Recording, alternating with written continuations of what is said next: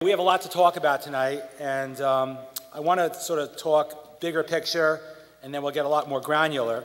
And so, sort of an open-ended question to begin with, and I'll, I'll start with Mark. Um, have we reached a true level of stability, or is this just the calm before the storm? Has the hurricane passed, or are we in the, uh, the center of the storm and the winds are going to blow again? Mark? Well, uh, I, I, guess I'm, I'm, I'm glad we're, we're Manhattan-centric uh, as we are in, in response to that question, because I think there's, uh, there's a lot of ills out there uh, nationally in a lot of uh, CBD markets. Um, New York, which kind of led um, the, uh, the sector into uh, to, to, to turmoil two, two and a half years ago, I believe is going to and is now leading the way out. Um, so, I mean, certainly all the different metrics that we track um, and that we can use to forecast what we think is going to be happening over the next year or two, most of those are turning positive, but for rental levels, which are clearly uh, right at the bottom right now. But in terms of um, uh, revenues of our tenants, in terms of who's hiring, who's looking at expanding, who's looking at trying to get in now to bottom tick the market in terms of rent for fear that over the next year, two, or three, they're going to miss the market and rents will start running away from them. Uh, in terms of uh, uh, claims in the office sector, which I think you're going to see moderate substantially in Q1 and Q2. Um, all those things together uh, lead us to believe that fundamentally the worst is behind us and that things are going to improve, hopefully uh, more substantially than maybe uh, people think. I, you know, we look back over the past three or four downturns, and the more severe the downturn, the more severe the uh, upturn. And I do think that sitting here today and saying, you know, God, how can rents return to uh, levels that are much more economic than today, and how can pricing return to levels that are much more economic today? I don't think we were saying anything that much different in 01, 02, 03, uh, 98, early 90s. And therefore, I'm pretty emboldened that Manhattan uh, is certainly retains its attraction to be a major uh, the major and most important financial and business center in the country. I think tenants uh, are looking at these rents today opportunistically, and they're going to be just infilling uh, all the vacancy that has occurred predominantly through sublet space, but some direct space. And while it's, it's, uh, uh, it's hard to sit here and say that within the next year or two things will be measurably better, um, I don't think we're uh, sitting at a point in time where we're going to be looking a year or two from now with things uh, worse than they are now. I'd be very surprised. And certainly we're tailoring our strategy uh, towards an improving market. And that means we're going to be net investors again. Bill, you have a more of a global perspective given your fund's investment globally. Are we in the calm before the storm or there's tidal waves ready to hit us again? Mark, thank you for the optimistic uh, remarks. Uh, without Fascitelli and Silverstein I, here, I yeah, without, I was going to call you. Thank you very much, Larry Silverstein. hey, someone had to do it. Uh, well, well, right now we're still in the storm, but maybe, perhaps we're in the calm of the storm. And you know, when the eye goes through of a storm, sometimes you have a calm right around it. Having said that. Um, I, I think on a global basis, things are pretty similar. They're, they differ from a little bit from country to country, but the conditions of, uh, of lack of liquidity, of, um, of, of, of properties being down anywhere from 25 to 75 percent in value, and rents being down 40 percent plus or minus, depending what you're looking at, you know, is, is a global infection. Um, it affects New York, it affects uh, Mumbai, uh, it affects uh, London. It affects uh, any place that you go. But, you know, having said that, um, I think that in parts of the United States and in New York and London and other places, uh, rents uh, have adjusted and for the moment uh, don't seem to be headed down much further. You may have another 10%. Cap rates have adjusted and they, in, at the present time, um, are not uh, moving tremendously, but there's been a big adjustment in both where it's knocked property values uh, out from under and where uh, a, a, tremendous amount of properties are valued at much less than the uh, first mortgage. And a lot of these properties have a lot more than a first mortgage. So where we, the, question is, are we, uh, you know, are we looking to better times? And the real question, the real, the answer to this can only be um, answered in the fact that what bothers me and worries me is that there has not been the cleansing of the system. Um, The, there are very few transactions, and there are so many properties underwater, and there's so much hide the ball, there's so much extend and, and pretend, um, that, um, you know, that, that we, we may not have seen the worst.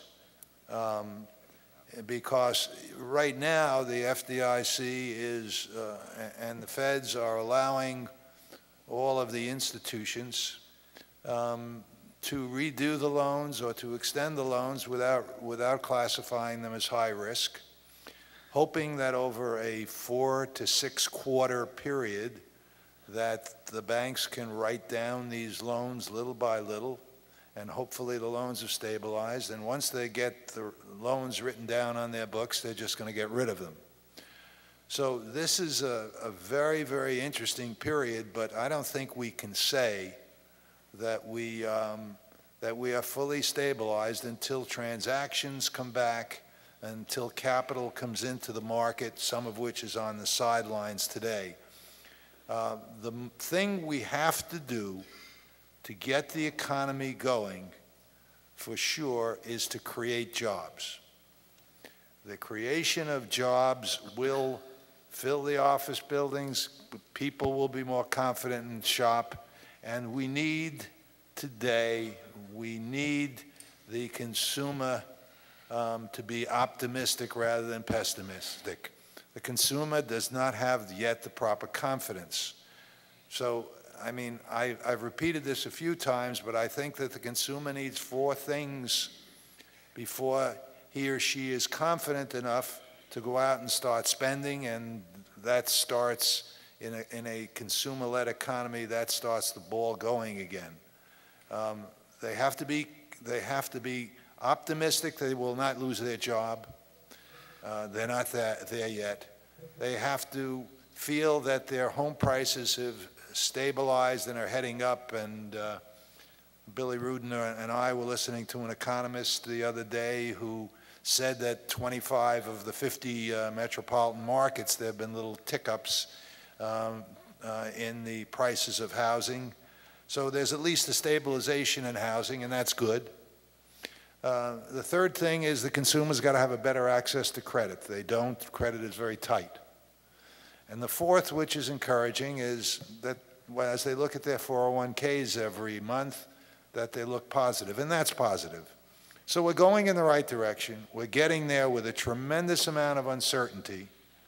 Um, But I guess the best we can say is that um, we have not, it is possible that we could have a mass dumping at one po, at one point, and the stabilization that we say, see today can temporarily be very destabilized as prices bounce down before they bounce up. Well, I think as far as New York City goes, I think what's the most surprising thing of, of this recession is how well New York has done. Uh, other than New York, other than Washington DC, New York has really weathered this storm better than any other city in the United States, which, which, you know, is- good today when you look at New York. The question is, you know, what dark clouds hang over New York City? Um, And to me, there's a lot of dark clouds that are over New York City when you look at the future of, of New York City. Uh, And, and from more of a macro type of approach, is that till we really change our politics in New York City, um, when we have a legislature that spends until, the- until they, uh, until we're going to run out of money, uh, changes, uh, we're not going to really have a great uh, deal of, of, of, confidence in the business uh, community uh, in New York. Um, And I think that exists both uh, in uh, Albany as well as the city council in New York. Um, So I think that doesn't bode well for long-term New York and for the, uh, for the real estate uh, economy in New York. In terms of the country, I feel that while uh, there- things have stabilized, uh, and I think prices, uh, I know we deal mostly in apartments. I think the, the uh, the market there is is held up very well. Um, Recognizing that uh, anything in real estate is really a a byproduct, and it's a function of jobs. Uh, But today, uh, you know, our vacancies in our building are probably about 4%. Today, our prices are down anywhere from 15 to 20% from the highs. Um, But with 4% vacancy, uh, you can start to see rents uh, going up uh, in in the, probably the short term, uh, assuming there's not another double dip in the uh, economy. And, uh, which which is a really, to me, there's a real concern there of what might happen in, in the spring. We still have major issues with the housing sector. Uh, we haven't really solved the issues there. Uh, we've put some Band-Aids on it. Uh, you'll have the expiration of the uh, uh, home buyer credit. And once you start seeing interest rates going up, you're going to find out what really happens with all these foreclosures that are really on the books. And this is across the country, and it will have some bearing in New York. Um, And also, you have the real problem that we really haven't tackled and nobody has the answer for, is what you're going to do with all the commercial uh, mortgage debt that will be coming due over the next uh, three to five years. And uh, th- that's really uh, a a major problem that I don't think anybody has really kind of figured out how you really are going to deal with it. Um, And that'll affect prices in New York, and it'll also affect, it'll certainly affect values, as you well know. And, uh, but with the lack of supply, and, and New York still being the city of choice for most people uh, coming out of school, and we're, and business is still healthy, uh, I, think New York will continue to do well from that standpoint. I don't know how it'll affect values, but I think rents, uh, as long as uh, we don't have ma- another major uh, downturn, uh, will continue to rise. I, I think we're, I, I think we're definitely not the calm before the storm. We've been through the storm. Uh, if anybody is, you know, you know, read Too Big to Fail or listened to Jamie Dimon, I mean, that weekend in September, we were right on the edge. And I think, uh, you know, we were here a year ago and trying to predict what, what's going to happen. And what I've learned is none of us are that smart to really know you know, what's going to happen, let alone, you know, uh, a, a week from now, but three or four months from now. Because if we were sitting here in, say, February of, of this year, uh, none of us could have predicted two months later that the stock market would be rebounding, that, uh, you know, that there would be, uh, uh, you know, offerings from uh, SL Green and Simons and, and Taubman and Vornado of billions of dollars of, of uh, of uh, equity and that that money would be raised and that their stocks who got pummeled would come back in a in a you know very positive way you know a few months later. So you know I think we're we've gone through a tremendous uh, trauma and we're we're on the way to, to recover now how long does it take for us to get back to full value I think it, that's a long road but we're definitely in a much better position uh, than we, when we could have all thought we would be a year ago, uh, you know, last, you know, uh, last, uh, you know, November or December, um, because we had no activity. We had nobody calling, nobody looking at space. Our vacancies in our apartment buildings went from 2% to 5%, literally, uh, you know, almost overnight as uh, particularly the smaller apartments, the young people were losing their jobs. And now that's come back. We're back to 4%. Um, you know, our rents are down, probably the same uh, levels, but uh, we're seeing activity on our commercial space.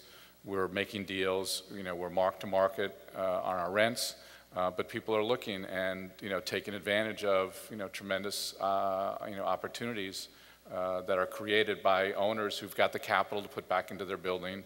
There, there's a lot of activity in the marketplace. There's a, a, significant renewal, not in one of our buildings, but on the west side with a major law firm that will be announced soon. Uh, and uh, uh, you know, I know of other deals that are that are out there. So I, I think we're you know we're, there's still choppy waters, and as uh, Chairman Bernanke said the other day uh, in his speech, you know there are definitely headwinds, but we're I think on a road to recovery.